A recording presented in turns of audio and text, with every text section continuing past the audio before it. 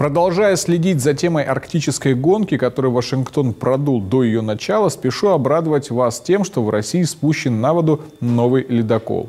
Судно Андрей Вилькицкий из-за его высокой маневренности называют танцующим. Свежие новости из страны ледоколонки. Новый российский ледокол представили в Петербурге в конце декабря. Корабль Андрей Великицкий прошел по Неве, после чего пришвартовался в центре города у английской набережной. Затем он отправится по Северному морскому пути в сторону Обской губы, где будет использоваться при освоении месторождения Новопортовское, самого северного на Ямале. Посмотрите на снимки, сделанные фотокорреспондентом. Красота, да и только. Напомню, мы лишь недавно говорили с вами о том, что Россия имеет более чем 40-кратное превосходство над США по числу ледоколов, тогда как американцы даже боятся посылать свой единственный находящийся в строю ледокол по Северному морскому пути. Однако и это не все. Оказывается, еще в середине декабря американское издание The Hill сообщало, что никаких новых ледоколов у береговой охраны США не будет в принципе. Причина банальна – клятый агент Путина Дональд Трамп решил перераспределить средства, которые были предназначены на ремонт действующего ледокола «Полярная звезда» и постройку нового. Трамп решил потратить на стену с Мексикой деньги, которые были предназначены для строительства нового ледокола и ремонт старого.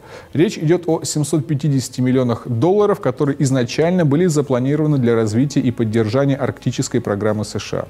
Чтобы отремонтировать единственный находящийся в Арктике ледокол, которому 40 лет, запчасти приходится искать на eBay. Запчасти для ледокола на eBay. Ну, у меня просто нет слов. На контрасте со спуском на воду Андрея Вилькицкого это выглядит вообще потрясающе. Бензоколонка, притворяющаяся страной с разорванной в клочья экономикой, отставшая от Запада на 50-100 лет, спускает на воду новейшее судно для работы на Северном морском пути, обладающее повышенной маневренностью. Цитадель же хай-тека, где все давно на лазерах, а капитализация стартапов в Кремниевой долине переплюнула стоимость «Газпрома» и «Роснефти» вместе взятых, ищет запчасти для единственного спущенного на воду еще в 1976 году ледокола на eBay. Но не прекрасно ли это? Обратите внимание, как только дело доходит до создания чего-то существующего в реальном мире, не виртуального, того, что нельзя отрендерить в 3D, американцы регулярно делают штаны – Победа в холодной войне и несколько десятилетий господства доллара сыграли самозванной исключительной нацией злую шутку. Она разучилась добросовестно трудиться. Нет, в глубинке, где живут голосовавшие за Трампа реднеки, умеющие работать не на KPI, а на совесть, люди еще есть. Ну, пока что. И именно им старается угодить глава Белого дома, выводя войска из Сирии, потому что рядовых граждан из одноэтажной Америки достало до печенок это дутое имперское величие, на которое вбухивается занятые у банкиров из ФРС сотни миллиардов. А отказ от постройки нового ледокола – это такой побочный эффект. США фактически расписываются в наступившей технологической импотенции. Нет, вполне возможно, в будущем, лет через сто, они смогут опять научиться делать ледоколы. Ну или, допустим, нормальные мосты, которые не падали бы на следующий день после открытия, как тот, что рухнул в марте во Флориде. Я увидела, как мост медленно оседает. Во все стороны полетели облака пыли, и бетонные плиты упали прямо на машины.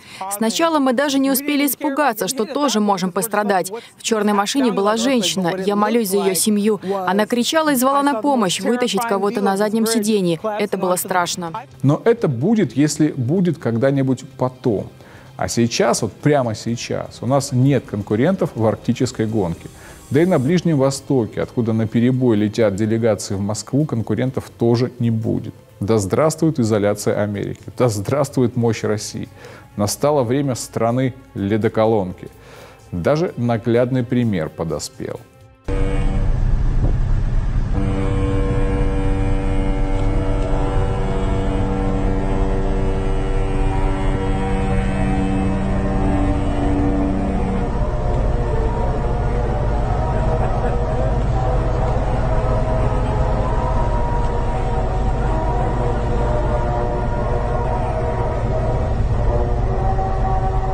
Amen.